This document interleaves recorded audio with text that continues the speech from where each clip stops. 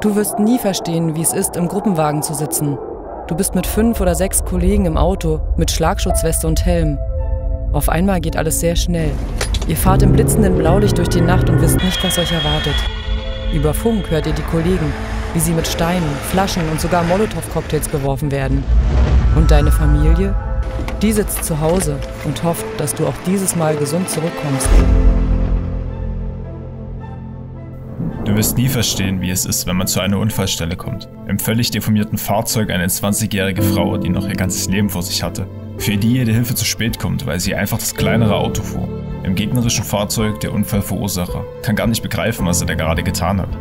Und du wirst nie verstehen, wie es ist, zu den Eltern und Geschwistern der Verstorbenen zu fahren.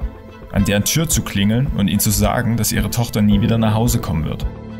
Und das alles nur, weil jemand ohne etwas zu sehen überholt hat.